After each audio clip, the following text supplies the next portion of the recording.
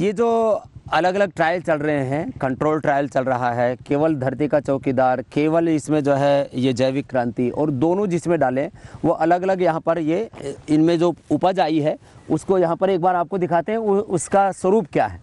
तो ये एक तो है जो कंट्रोल वाला। कंट्रोल वाला जो नॉर्मली जिसमें हम जैसे गोमूत्र गोबर से जो तैयार कर गोबर जो हम जो ऑर्गेनिक खेती करते थे प्राकृतिक खेती जिसको हम बोल रहे हैं। वो उसके हिसाब से स्वावलंबी खेती या ज़ीरो बजट खेती है। ये है। इसमें आप देखेंगे इसकी जो कद काठी है इनकी शक्ल सूरत है इनकी लंबाई चौड़ाई है या इनकी संख्या।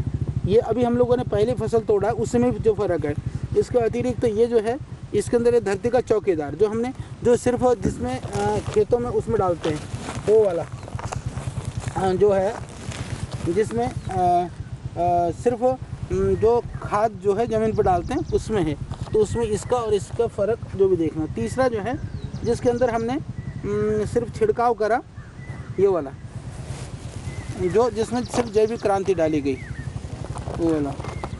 जिसमें केवल छिड़काव हाँ, किया गया। और एक ये जो है इसमें जिसमें दोनों डाला गया। ये वो है जिसमें दोनों डले हैं। तो ये एक ही खेत में अभी सामान्य रूप से आप ऐसे कैमरे में देखेंगे आप स्क्रीन पर देखेंगे तो बहुत ज़्यादा फ़र्क नहीं दिखेगा।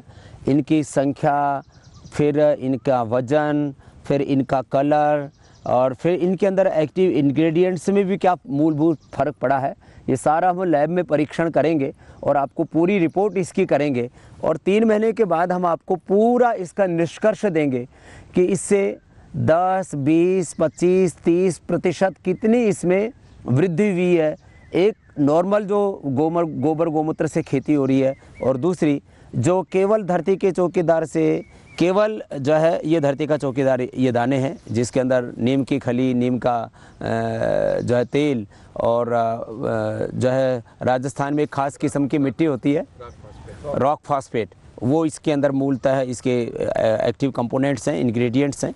और ये जो है, ये दूसरा जैविक क्रांति, जो एक लीटर सौ लीटर पानी में पड़ती है और करीब एक एकड़ ज़मीन में सौ से सवा सौ लीटर क्रॉप की जो है उसके साइज़ के हिसाब से तो एक से सवा लीटर ये एक एकड़ में ये पड़ता है। तो इसके द्वारा कितने चेंजेज आते हैं और एक कुदरती खेती करें या केमिकल वाली खेती करें तो किस तरह से आप अपनी उपज बढ़ा सकते हैं? उपज बढ़ेगी तो आमदनी भी बढ़ेगी। और हमारा संकल्प है कि सबसे पहली प्राथमिकता हम गौमूत्र गोबर पर आधारित कुदरती स्वावलंबी खेती को देते हैं। उसको ज़ीरो बजट खेती कहो जो भी उसको कहो। ये उसके अंदर एक वैल्यू एडिशन हमने कर दिया। वैज्ञानिक खेती। वैज्ञानिक खेती होगी जैविक खेती। में भी एक साइंटिफिक अप्रोच को हमने बड़े रूप में ले लिया।